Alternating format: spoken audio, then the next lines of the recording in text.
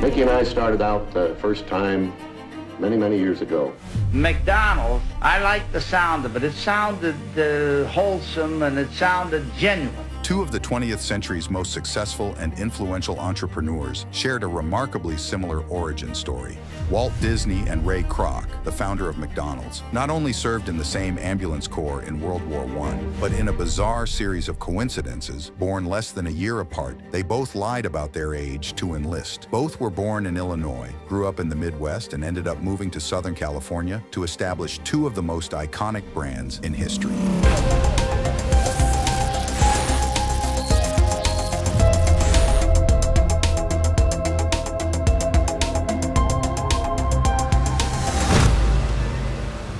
In 1918, as the First World War was drawing to a close in Europe, Walt Disney wanted to follow in the footsteps of his older brother Roy to join the fight.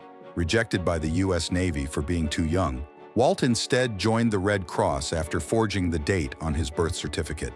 At the same time, Ray Kroc, aged only 15, joined the Red Cross too, also lying about his age.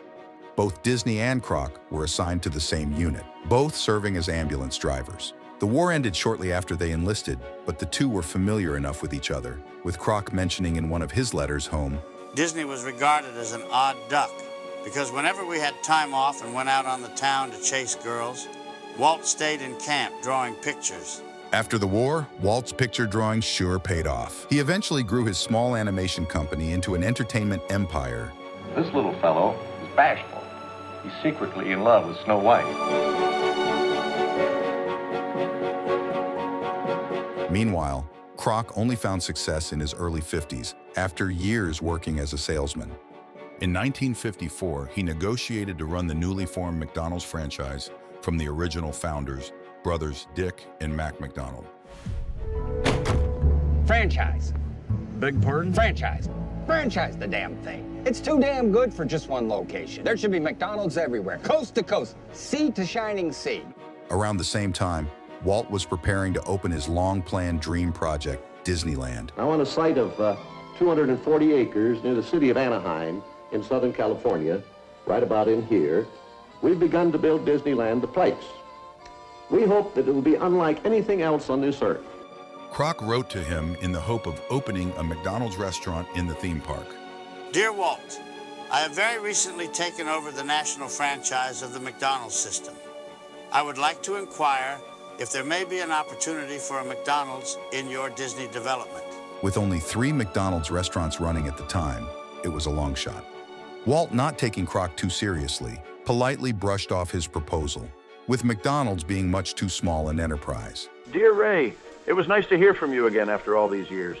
As to the possibility of McDonald's having a part in Disneyland, I will have to refer your letter to Mr. Wood, who is in charge of concessions. I do not handle this phase of the business, but instead I confine my activities to the creative end of the project. With my regards and all good wishes, Walt. Walt instead focused on other popular food brands of the day to operate in the park. Rumor has it that Disney demanded Kroc increase the price of French fries from 5 cents to 10 cents, with Walt keeping the upmarked profit. Kroc outright rejected the idea. This is likely a tall tale on Kroc's part. However, Disney's rejection did push him to work even harder. A few years later, he bought out the McDonald's brothers to become sole owner. Dick, Mac, let's make a deal.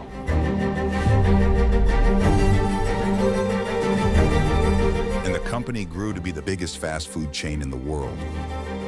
Walt died in 1966 while planning his new, even bigger theme park development, Disney World, in Florida. By the 1970s, McDonald's had grown so profitable that Kroc planned to open his own theme park. The park, which he dubbed Western World, was to be located in the San Fernando Valley and would directly compete with Disneyland. But the McDonald's board of directors promptly put an end to Kroc's plan, fearing the venture would lose money and draw revenue away from the restaurant business. By the early 1980s, the fortunes of both corporations had somewhat flipped. Without Walt, the Disney company was spiraling into a state of creative decline and urgently needed cash. McDonald's, on the other hand, was growing faster than ever. Kroc even toyed with the idea of buying out the struggling Disney company. But by then, his role as chairman of the company was largely ceremonial, and nothing came of it. Kroc never forgot Walt's snub in 1955, believing McDonald's should have been part of the early success of Disneyland. Ray Kroc died in 1984. Years later, after the Disney company bounced back, they finally did collaborate with McDonald's. In 1995, the first McDonald's restaurant eventually opened in Walt Disney World, Florida. Both companies have maintained close business ties ever since. If you like this video, please like and subscribe.